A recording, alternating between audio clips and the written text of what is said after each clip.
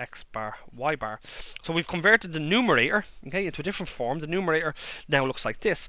So the covariance so the covariance of xy can actually be written now as n times the xy, the cross product of the x's with the y's, minus the, uh, well, the average of the cross product of the x's with the y's, minus the average of the x's times the average of the y's, all divided by n minus 1. All divided by n minus 1. There's another form of this equation, okay?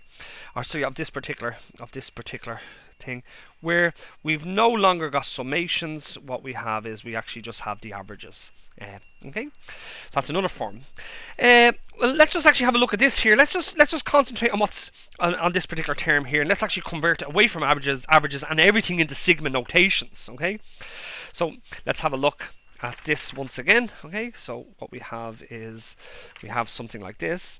So just concentrating on the numerator again. So let's say concentrating concentrating on n times the sum the xy bars minus the x bar y bars.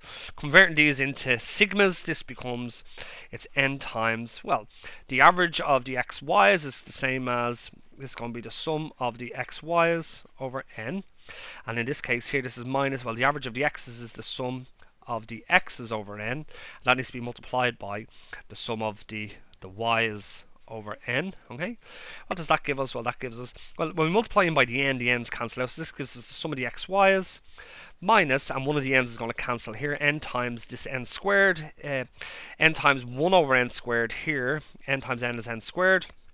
And when we multiply the numerator by n, one of the n's is going to cancel out. So this leaves us with the sum of the x's, the sum of the x's times the sum of the y's over n. So here's another form of the equation. So now from this we have that the covariance of xy okay, can also be written as, now once again, don't forget, this was the numerator that we evaluated earlier on, down to, this was the numerator we evaluated earlier on. So it can now be written as Okay, well, this summation, okay, of the cross products is actually going to change, okay? The summation of the cross products is going to change to this term here. So it's the sum of the xy's minus the sum of the x's times the sum of the y's all over n all over n minus 1 and people might recognize that particular formula there okay um, as something that they've seen before so this is another form of that particular equation okay? And finally maybe what we could do is we could just make this a little bit neater here through common denominators okay? I suppose really what we're doing is instead of multiplying from here we get a common denominator okay? So the common denominator is an n okay? So considering considering considering let's say the sum of the x xy's minus the sum of the x's times the sum of the y's over n. This actually becomes well the common denominator is an n. So this becomes n times the sum of the xy's minus the sum of the x's times the sum of the y's okay? Uh, which is the same as, well, I suppose this is 1 over n. Okay, this is 1 over n times n times the sum of the x y's minus the sum of the x's times the sum of the y's. Okay, now when we substitute that back in here, uh, we end up with the covariance of xy is equal to it's 1 over n times n times the sum of the x y's minus the sum of the x's times the sum of the y's.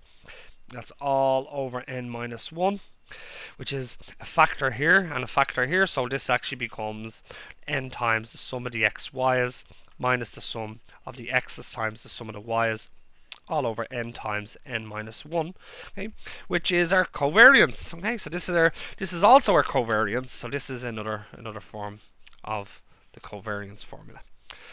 Okay guys uh, once again this was Jonathan Lambert with the Mathematics Development and Support Service at the National College of Ireland and what I've tried to do in this particular video is to show you uh, some of the different forms uh, of the covariance formula because I'm always being asked, oh my lecturer uses a different form of that particular that particular uh, formula.